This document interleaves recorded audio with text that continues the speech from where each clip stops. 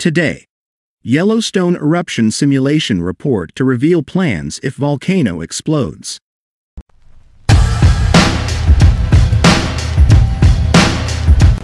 Scientists at the Yellowstone Volcano Observatory will unveil a new eruption response plan based on insights gained from very simple volcano simulations.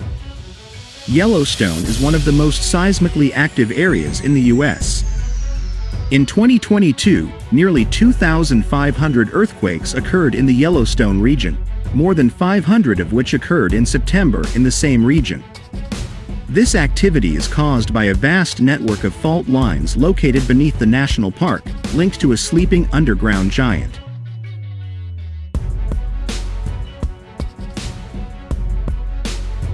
Yellowstone Supervolcano A supervolcano is a volcano capable of producing an eruption measuring 8 on the Richter scale based on the Volcanic Explosion Index, ejecting more than 240 cubic miles of volcanic material. The exact number of supervolcanoes on Earth remains uncertain, but estimates suggest there are about 20, including Yellowstone, Long Valley in eastern California, and Lake Taupo in New Zealand. The U.S. Geological Survey estimates that the last major eruption at Yellowstone occurred more than 630 OU years ago.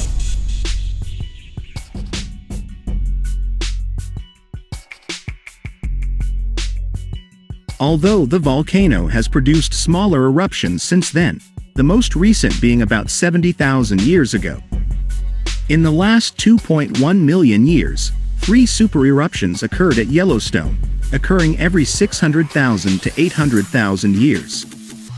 While it's unlikely the volcano will erupt again anytime soon, no one knows for sure when the sleeping giant will wake up again. In May 2022, members of the Yellowstone Volcano Observatory Consortium gathered at the Mammoth Hot Springs Hotel in National Park for their first in-person meeting since 2018.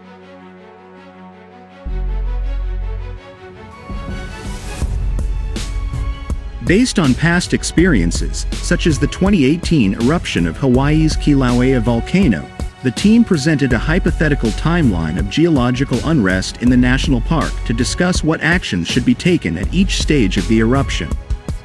Yellowstone presents a wide variety of hazards, including earthquakes and hydrothermal geyser activity, all of which pose threats and must be studied with different tools. Increased activity at a particular location requires increased data collection at that location,